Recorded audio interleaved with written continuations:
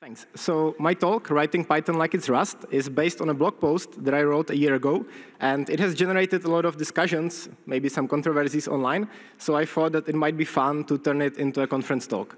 My name is Jakub Beránek. Uh, I'm a computer science PhD student, uh, got about two months left, so wish me luck. Uh, I teach at a university, I work the, as a researcher at the Supercomputing Center, and I also like to contribute to open source, and I contribute mostly to the Rust project, where I'm a member of a few teams that work on the compiler performance and the Rust infrastructure. And I have been writing Python for more than 10 years, and uh, I always did it in a very dynamic style. So I used to write Python uh, without type hints. Uh, I used dictionaries everywhere. My code was stringly typed, not strongly typed and I was using monkey, monkey patching and all these kinds of horrors. And uh, it was fun, but uh, I realized that uh, this code was causing me some very bad symptoms, especially for larger programs. And these symptoms were that it was very easy to cause bugs. Uh, I had to debug too many runtime failures and crashes, which was very annoying. Uh, it was hard for me to understand my code in retrospect, and it was also difficult to change and refactor it. And you might say, you know, this is a skill issue. If I was a better programmer, uh, I could do this. But uh, I didn't actually have a lot of confidence in my code. And kind of independently on that, I started using Rust, and it quickly became my favorite programming language. And my experience with Rust was quite different. So yeah, I mean, I first I had to compile my code. Then I had to wait a little bit longer for it to compile. Then I had to fight the compiler a little bit. But once I did all that, my code was usually just working. Like without having to debug a lot of stuff, I had a lot of confidence that my, that my code would be working and doing what it should be doing. And I wanted to kind of port this great experience from Rust to other languages, uh, including Python. So this talk is essentially about uh, why do I write Python in a way that is a little bit uh, similar as I do write Rust, and how do I do it? And essentially, I will be trying to port some notions of static typing and strong type systems to a language that is otherwise very dynamic. Uh, a small disclaimer, everything I show here is just like my opinions. I'm not trying to tell you how to write Python code. I will just be showing you how I write Python code, and maybe you can find some inspiration in that. Uh, also, this is one of those talks where if you blink, you'll miss something, so I apologize for that in advance. So step one is using type hints everywhere. I really use them pretty much everywhere. Uh, type hints are these small annotations that you can add to your Python programs to say that some value is of some specific type. Uh, they were added in Python, I think, 3.5, and they are being extended and improved in every new Python version. And where do I use them? Well, pretty much everywhere, but most importantly in interface boundaries, so in function signatures. I want to see what types are going into the function, and I want to see what type is going out of the function. I also use them a lot in data classes, in their fields, obviously. Uh, I will be talking about that more later. And sometimes I also do use them for variables, but also, but only quite rarely, because if there is some complicated expression, I can annotate it to help the type checker or the IDE. But if it's something very trivial, uh, I think that adding the type hint in this case is just additional noise. So I don't really use them a lot for uh, variables. Uh, what you can actually use for the type hints, well, you can annotate uh, primitive types like integers, booleans, or your custom classes like a person. You can annotate built-in data types like a list of integers, a dictionary that maps strings to integers, or you can use some complicated things like this value is either an integer or a string, or this value is optional. It is either bool or the value none. And you can also do some more crazy things, like you can say, this value is the literal get or the literal post, and nothing else. So there's a lot of stuff that you can do with this uh, typing module, but I won't be actually talking about this module uh, a lot in, in detail. I will, I will, be talking about the mindset and the motivation of why we should use type hints in the first place. So why type hints? Uh, I think the previous presentation had about one slide about this. I have about 70, so uh, it, will, it will be more, more uh, extended. Uh, for me, the most important reason is that types help me understand code right? So if I see a function like this, uh, just from the signature, I want to be able to find out what is it doing. But here, I have no idea. Like, what is items? Uh, what is an item, a singular? What is check? Is it a Boolean? Uh, what does the function return? So without type hints, I have no idea. But if we do add type hints, we can see that items is something that can be iterated, and it contains items. OK, so what is an item? Well, I can just click on it in my IDE, and I will immediately see the definition of what is the type. What is check? Well, it is not a Boolean, after all. In this case, it is a function that will be probably called for each item in this iterable. And I also see that this function is returning an item. Again, I can see what it is. And it is optional, so I need to handle the case where it is missing. So types provide documentation for me, and it is the kind of documentation that never gets out of sync because it is code, after all. Uh, in addition to understanding, they also help me remember. So this is code from my bachelor thesis that I wrote about eight, eight years ago. And when I checked it last week, I had absolutely no idea what is going on. Like, I really, I didn't understand what is going on. Why? Because I didn't have any type hints. At the time, I think they didn't even exist. But uh, if I wrote this code now and I added the type hints, I would have at least some cursory glance about what is the code doing, even if it was after five years. Uh, types also help me write code faster, which might sound a little bit unintuitive, but uh, if you take uh, into account, for example, an IDE, if you don't have type hints, it can be quite difficult for the IDE to provide you with the correct auto-completion. But if you do annotate your code with type hints, you will essentially help your IDE help you write code faster. And this is also awesome not just for auto-completion, but also for navigation. Like when I encounter a new code or a new function, or a function that I wrote a month ago, I want to be able to click on the types in the signature of the function and go to the definition of its types so that I can understand what is going on. And uh, types also help me detect when the code gets a little bit too complex. Like for example, if I was writing this function and I was trying to annotate it like this, I would probably realize that maybe this code isn't really the best code in the world, and I should refactor my function, for example, into several other functions, because when it's very hard to type, it can be a symptom of the code being too complex and too hard to understand. But on the other hand, we are still in Python, right? So type hints are still optional. So if I need to have a case where I really want to just stuff anything into a function, I just say that this is any, then this is perfectly fine. I mean, this is still Python. It's, it's not Rust. I can still say that I don't really care about types in some specific circumstances. So that's, that's also a nice thing. Uh, types are also, introspectable at runtime, and this can be used by uh, several libraries, or you can also use it in your own code. So for example, in the FastAPI library, when you annotate a parameter with a data type, not only you are documenting what is going on in your code, but the framework itself will use this information to parse this parameter from the URL in a specific way. And if it's not an integer, it will return an error to the HTTP client. Uh, notice that everything that I showed so far, all the advantages, I didn't even mention any form of type checking. I was only just saying the advantages from the form of documenting and understanding your code. But of course, if you want to move further, you should actually configure some type checker like Pyright or MyPy. And if you were here at, at the previous presentation, you, we saw some uh, additional ones. And uh, these are essentially programs that can type check your whole code base without executing it and show you these nice errors that essentially tell you that you are using, doing something wrong in your code. And you should, of course, configure type checking in continuous integration. And once you do that, uh, you will get a superpower because every type hint will become a mini test. And it is a great type of test because it doesn't need any maintenance or refactoring, unlike normal tests, because it is, it is always in sync. And it also provides you with very low latency feedback. Uh, what do I mean by that? So normally, when you have a Python code and you make a change to it, uh, it will look something like this. You will run your program or your test. It will run up to the first error, then it will crash, and you will fix the error. What happens then? Well, you do this repeatedly until you fix all the errors, right? But a lot of those errors, at least from my experience, will be very silly, trivial type level errors. And this is a very slow feedback loop to fix all of them. But with a type checker, you can just run the type checker over your whole code base, get all the trivial type errors at once, fix all of them at once, and then only continue with the actual annoying, slow, run, fix, run, fix loop. And again, in my experience, this second approach tends to be quite faster than the first one. But again, we're in Python, so you can combine both. You can use whatever you want.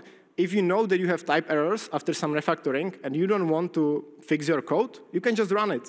It's, it's perfectly fine. It will work in Python. Uh, I did this sort of very, uh, I wouldn't even call it a benchmark, but just, uh, just to demonstrate something. I took the FastAPI uh, code base and I run its test suite. And it takes about 30 seconds on my notebook. And type checking this code base takes just a second. And I think this will be true for a very uh, large uh, number of repositories that type checking is much faster than running your whole test suite. So it's much low, lower latency feedback. And uh, if you want to move your type checking to another level, you can actually also do type checking at the runtime. So there's, for example, this beartype library that you can use to annotate your code. And it will then type check your code as it is running.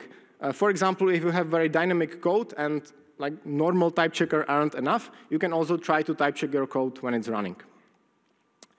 Uh, so to kind of sum up this type hint discussion, I would say that using type hints improves my, the confidence I have in my code, and that is really a great feeling. And it also improves my confidence in other people's code. Because when I see that they are using type hints, and we have type checker in the CI, uh, I will have much more confidence about their code. I won't need to study it in such a detail. And it also helps me when I refactor and change my code. Now, I put this fearless uh, word into quotes because in Rust, refactoring is really fearless. In Python, even with type hints, it's, it's not so perfect. But uh, still, I feel like type hints help me a lot when I need to change my Python code. I mentioned a lot of advantages. Uh, it wouldn't be fair to not mention some disadvantages of type hints. Uh, but to be honest, I really couldn't think of any. Like, to me personally, I don't I couldn't think of any disadvantage of this system. It just seems so obvious to me. But it wouldn't be fair to skip this, so I looked online. What do people say about type hints? What don't they like? So for some people, it's more characters to type. Uh, I agree, but also, like, whatever. Like, I, I, my productivity is not bottlenecked by the amount of characters I type, so I don't really care about this. Uh, the second uh, concern I saw is that using type hints is useless for throwaway code for a lot of Python scripts. So I also used to think this. But uh, then I was encountering the following situation very often. I got some idea.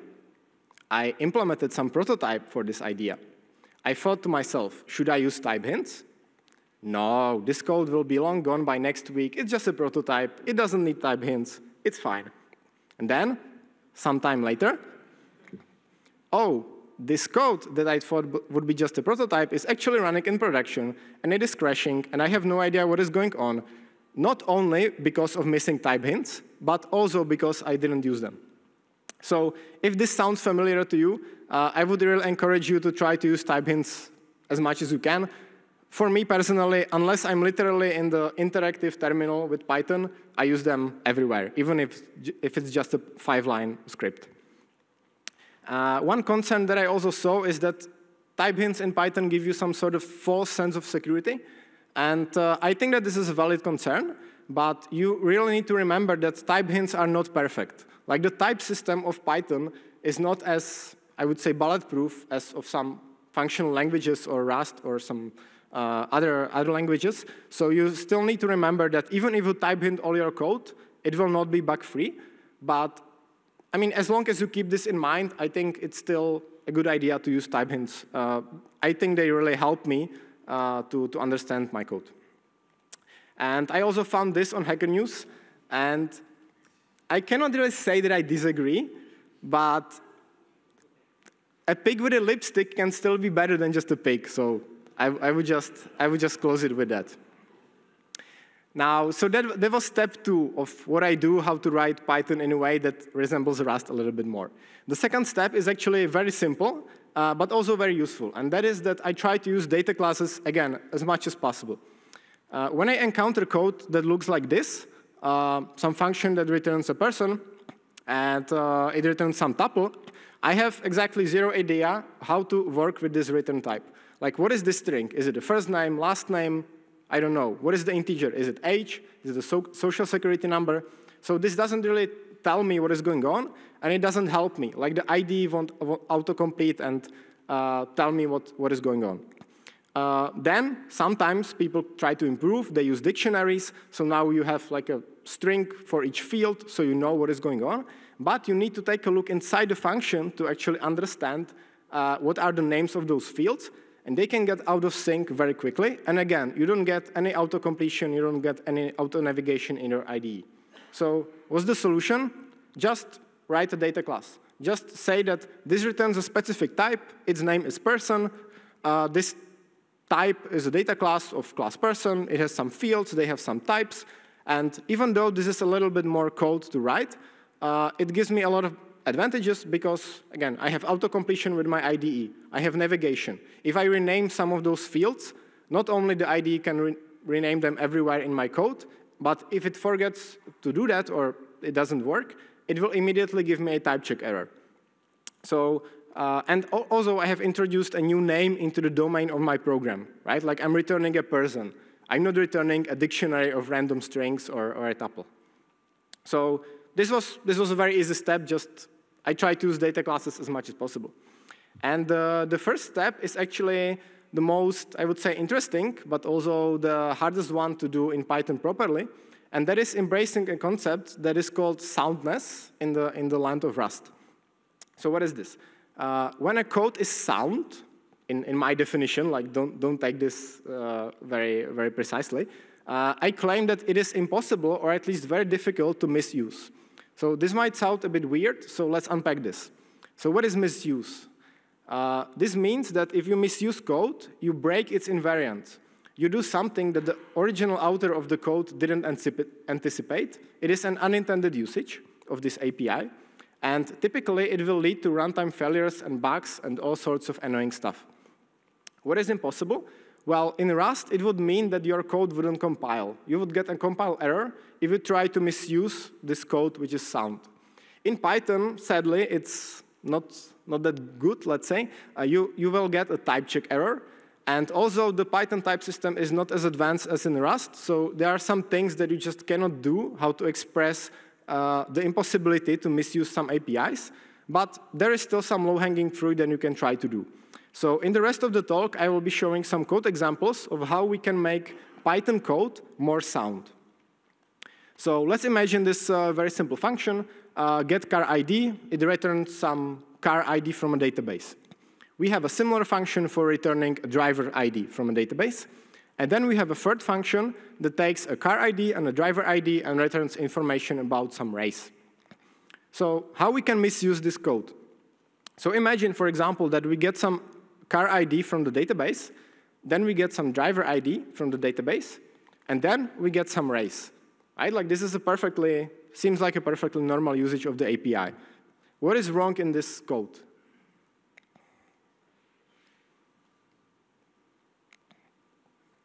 Okay, I don't have a lot of time, so I, but I think I, a lot of you saw it. These IDs are switched, right? Like I have, by mistake, I have passed the driver's ID as the car ID and vice versa. And this is the kind of bug that can be very annoying to debug because in tests, it will just work, like you have car ID 1, driver ID 1, yay. And it can be very hard to spot because it won't it doesn't even need to cause any runtime failures, right? So what we can do about this? Well, we can just separate these types of the different IDs. So for example, using this typing new type, we can say, uh, this is a new type called car ID, which is backed by an integer. And this is another type called driver ID, again, backed by, by an integer. And those two types now cannot be really combined together or used in the same places. Then we modify our code so that we return and uh, receive the correct types. And then if we would uh, run this function and we would swap the parameters, the type checker would immediately yell at us and tell us that we have done something wrong. Right? So not, not only improves this, uh, the soundness of our code, I would also claim that in, it, it, improves the uh, documentation of our code because now we are telling the user of this API, this first parameter is a car ID. It's not just any random integer. Okay, another example. Uh, let's imagine that you have this uh, client. It could be like a TCP IP client, and it has the following API. Connect, send some data, and close, right? And the problem with this kind of API that I see very often in Python is that it has some set of invariants, and these invariants are described only in documentation, right? So if you do, for example, send before connect, it's a bug, it's a runtime failure. Connect twice, it's a bug close and then send, it's a bug. Forgetting to call close might not even lead to a runtime failure, but it's probably, again, a bug. Right? So what we can do about this? Well, we can change the API so that these kind of situations are not even possible. So we can create a connected client that only has one method, send, and then we can build a different API for connecting and closing the client. So for example, it could be done in many ways, but for example, we can use a context manager. We can create the client, return the client to the user of this API, and then whatever happens, always close the client.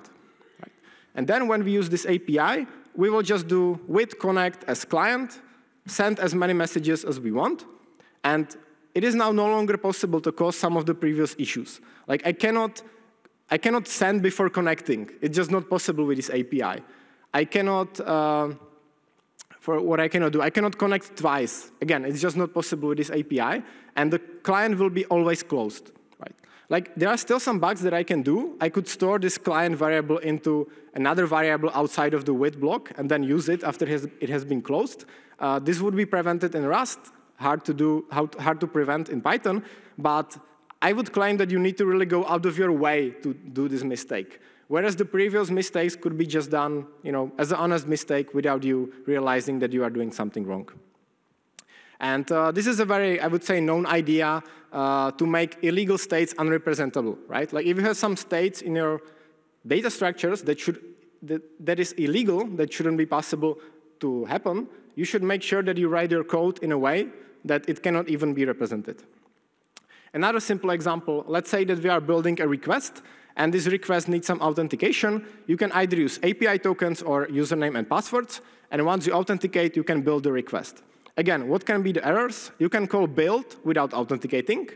You can call both API token and password, or you can call, for example, API token twice. All of these are runtime bugs, and this API allows them. So how to do it differently? For example, we can create separate types for request with tokens and request with passwords. And then we can modify the builder so that when you configure the token, it gives you a different type. When you configure the password, it gives you a different type. So now you can no longer call both of them.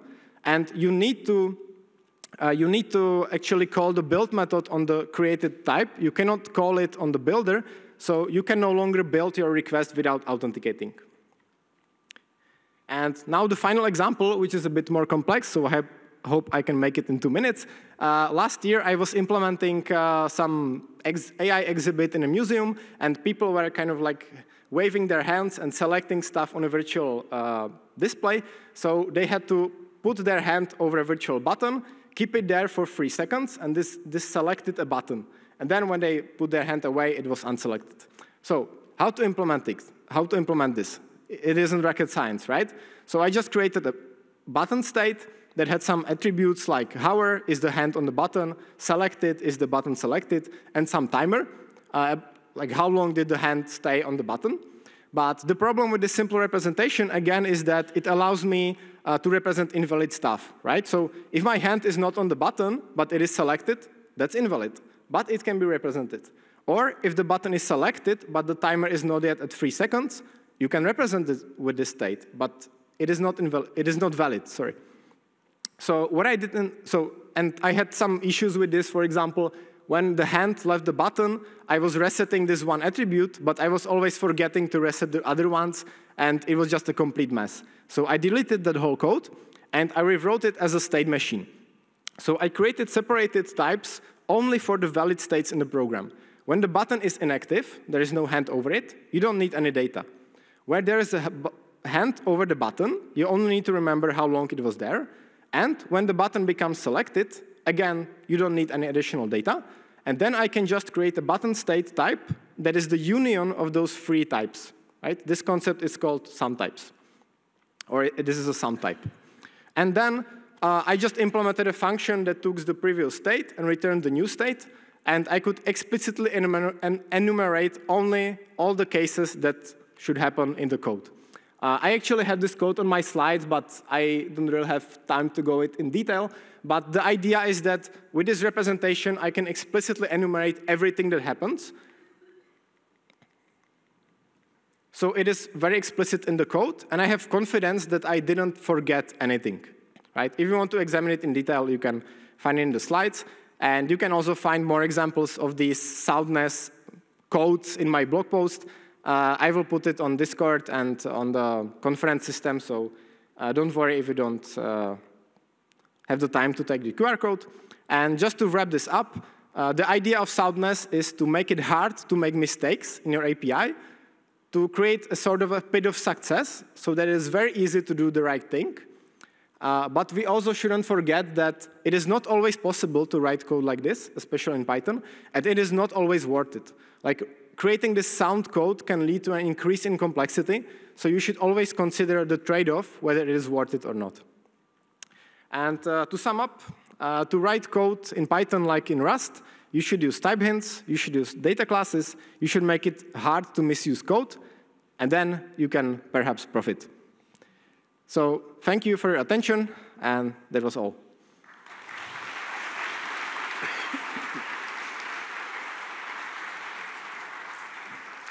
Uh, thank you, Jakub. Uh, we still have about two minutes for questions, so if there's one person who wants to run up here to the hallway to quickly ask a question at the speakers.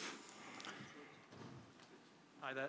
Thanks for the talk. Just a very simple question. For someone such as yourself who's obviously adept with Rust, when would you go with the Rustified Python over just using Rust?